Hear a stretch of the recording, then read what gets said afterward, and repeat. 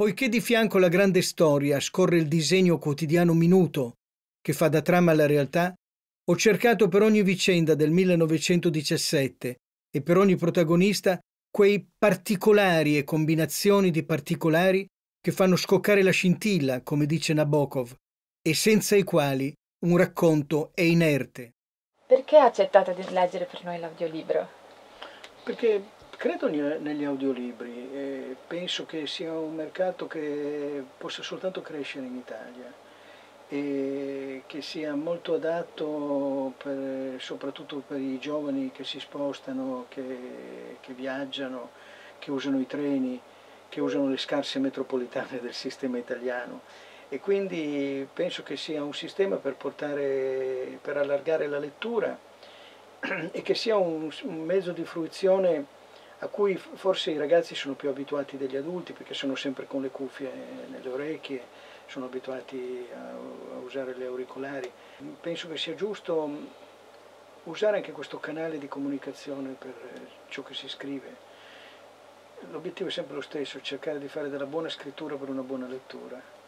E credo che tutti gli strumenti siano utili, lo strumento dell'articolo giornalistico, lo strumento dei corti su Repubblica TV che abbiamo fatto, il libro per chi vuole approfondire e conservare e l'audiolibro per chi preferisce ascoltare.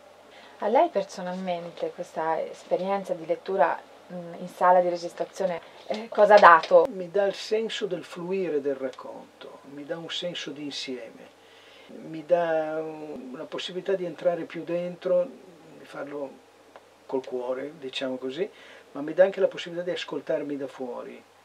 Per un, un tecnico della scrittura, come un giornalista, un cronista, è stupefacente come la voce ti porta alla luce delle allitterazioni o delle ripetizioni che l'occhio, pur avendo letto parecchie volte, non coglie. Com'è nato questo progetto? Allora, questa storia del centenario mi è arrivata addosso all'improvviso e mi sono detto quando tornerà un'occasione così potente di rimmergersi dentro la storia russa, riprendere tutta la letteratura, unire tutto quello che sapevo, che credevo quiescente, lasciato da parte, con l'immensità di quello che non sapevo ma che potevo studiare. Io ho avuto la proposta di Scalfari di andare in Russia all'inizio di settembre dell'87 e ho avuto tre mesi di tempo per studiare il russo al mattino e la Russia al pomeriggio. Ho preso un cartoncino dei miei, ho scritto in un angolo c'è del metodo in questa follia, mi sono fatto i quattro quadranti che dovevo esplorare, cultura, politica, economia e società. E ho cominciato a studiare, a leggere, a studiare, a studiare. E credo che il tentativo abbastanza nuovo eh, sia proprio quello di, di, provare a fare il cronista di un fatto di cent'anni fa, di andare nei posti, non usare internet, cioè non prendere delle, delle verità preconfezionate, dei racconti già fatti ma lavorare su libri possibilmente coevi, libri, libri vecchi. Fortunatamente ne avevo parecchi e facciano parte della mia ossessione per la Russia.